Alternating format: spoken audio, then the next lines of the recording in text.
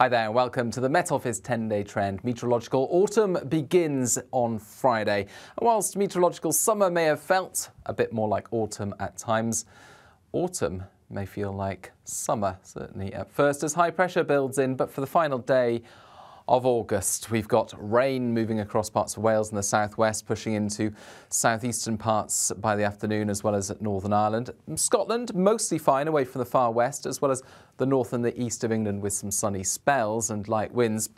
But towards the southwest, heavy showers start developing as the day comes to a close. Temperatures a little below average across the board. And then as we head into the evening, well, the front that's bringing the rain clears for a time across the southeast, but uh, a ripple develops in it, courtesy of the jet stream injecting some upper forcing and that slows down the front, injects some uncertainty into the forecast, but also leads to the potential for some heavy showers or longer spells of rain into the southeast of England, certainly at first. There's likely to be some lively showers across central and southern parts of England, perhaps Wales on Friday, uh, even a thunderstorm or two. But further north, it's more settled. Northern England, Northern Ireland seeing a lot of cloud, one or two showers, but Scotland seeing the lion's share of dry and bright weather, some sunny spells, especially towards the northwest. It's another cool day in the north. I think a bit more humidity in the south because of that wriggling weather front, and temperatures here a touch higher compared with Thursday. But that front's out of the way by the time we get to the weekend, and our eyes then turn to developments in the Atlantic. I'm going to mention these hurricanes in just a moment, but for the weekend, the main driver of our weather is this low. It's not actually going to come in and affect the UK directly, but it will indirectly affect the UK because around that low, we've got this warmth being drawn north, and you can see this temperature contrast, cold air coming in across Canada and Greenland, and all this warmth pushing north across the Atlantic. And what that helps to do is shunt the jet stream to the north, this ridge developing in the jet stream, which then topples over the UK in time for the weekend, allowing high pressure to build both in the upper air and at the surface. Meanwhile, the low and the trough of the jet stream that were over the UK on Friday, well, they push into Spain and expect some heavy rain to uh, occur across parts of Spain, Portugal, south of France during the weekend. That may rear its head back across the UK at times next week. It may do. I'll have more on that aspect of the forecast in just a moment. But for the start of the weekend, this ridge of high pressure, ridge of the jet stream, leading to fine and settled conditions for the vast majority. That's not to say there won't be any showers around on Saturday. It's still relatively humid across southern areas in particular and through central parts. Could be the odd shower the odd heavy downpour here, but for the vast majority, actually, it's largely dry, some sunny spells coming through.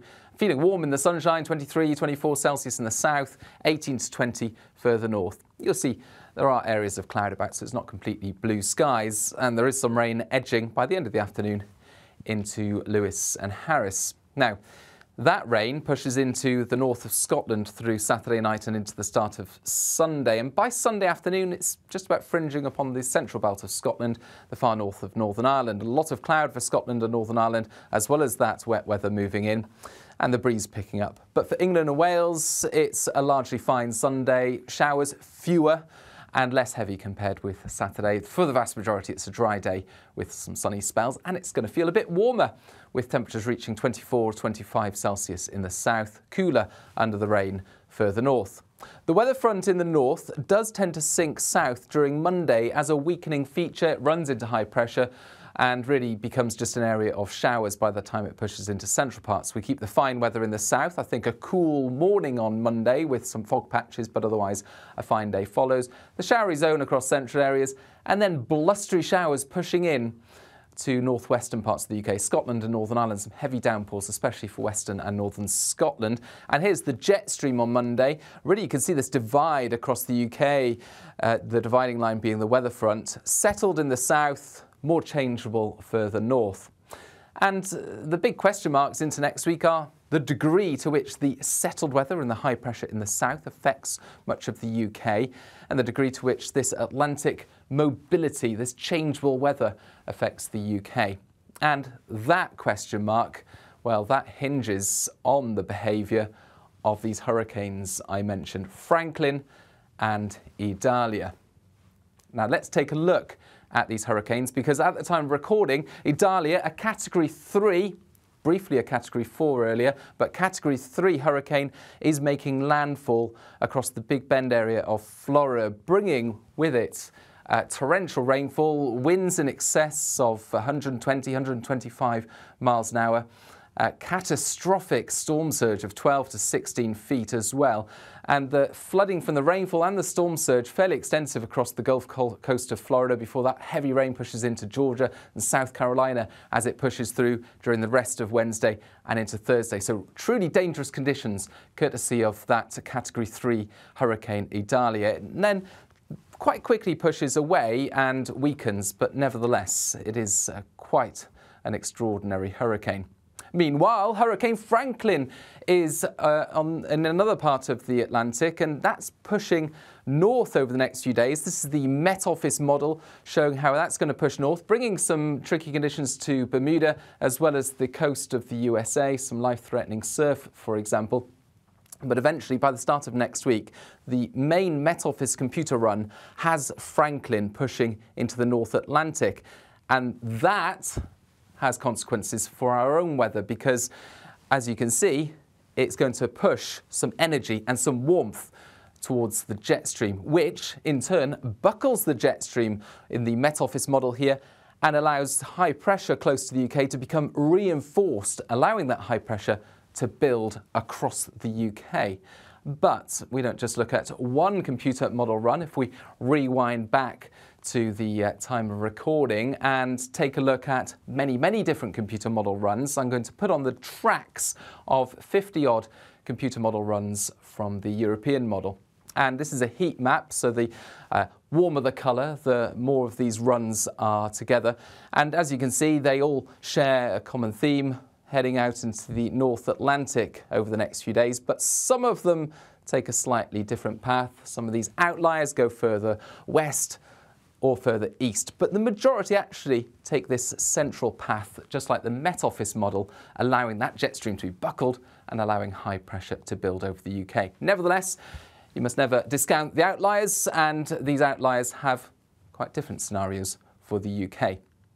So let's take a look at the most likely scenario through next week. The jet stream becomes amplified, it becomes buckled, it whips into a slightly more wriggly shape across the Atlantic and allows high pressure to become reinforced across the UK after that more changeable start to the week in the north. And that high pressure through next week would bring mostly fine conditions and reasonable warmth with some spells of sunshine.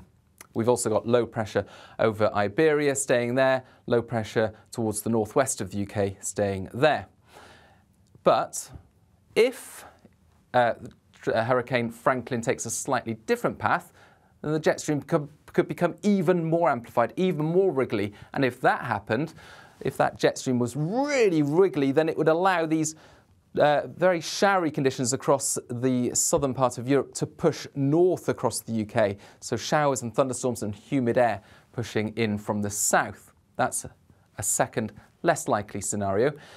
And a third scenario is if uh, Franklin took a slightly different track, perhaps went more to the west and largely avoided the jet stream, well, the whole pattern become flatter and that would allow the jet stream to take low pressure in to the UK from the northwest, bringing more changeable weather.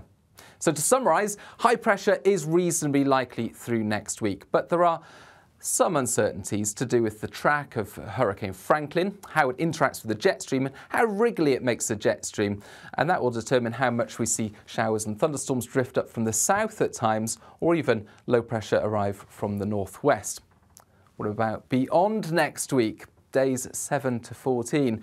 Well, we're not just looking at the tropical Atlantic, we're looking further afield to the Pacific, where it looks likely through the first week or two of September, a pulse of tropical rainfall and thunderstorms will move across Indonesia and into the Pacific. This is something that is a regular oscillation in our atmosphere called the Madden-Julian oscillation, and there's an explainer video on this on the Met Office Learn About Weather YouTube channel. But there's a decent relationship between the phase of the Madden-Julian oscillation in the next week or so and a ridge of high pressure dominating across the UK at this time of year. And if you were just to take into account that relationship, you'd expect high pressure to generally be in control for the first week or two of September.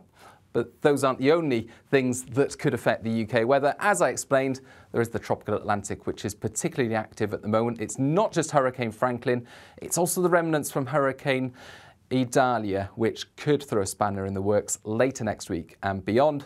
And other tropical systems that develop over the coming week or two could also play a role in influencing how the UK's weather evolves at much shorter timescales than what we're dealing with here. So we'll keep you updated right here at the Met Office, but uh, that's all from me. Bye bye.